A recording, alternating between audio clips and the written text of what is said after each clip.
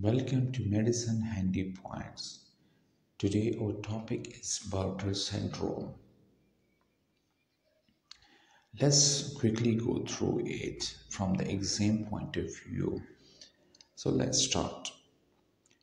It's an autosomal recessive condition caused by defect in sodium chloride potassium cotransporter in the ascending loop of Henle. This transporter is blocked by furosemide, drug furosemide. So imagine that it will have the effects of chronic furosemide use. So the patient will be losing sodium, potassium chloride and calcium as well. Remember, they will be losing calcium as well, just like furosemide is used to lower the calcium, so they will be losing calcium. So Patient will present with polyuria, polydipsia, muscle cramp, weight loss, and failure to thrive because they are losing electrolytes, water.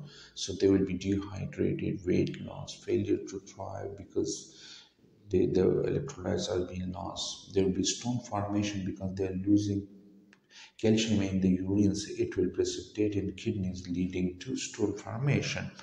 So they will present with the stone in the kidneys as well. So the first step in diagnosis is check for blood pressure. It will be low. So next step is to do the ABG. We expect metabolic acidosis in case of low blood pressure, but surprisingly there will be metabolic alkalosis. So it will alert you that there is something else.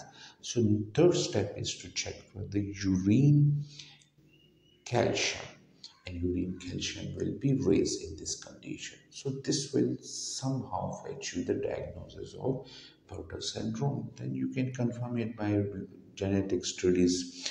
As they will be losing salt, so give them a lot of salt. They will need a lot of salt.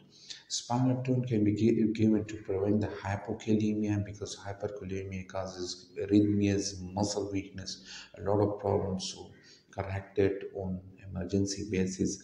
Indomethacin has been used in children because in this condition there is increased prostaglandin concentration. So indomethacin has shown to be effective in children.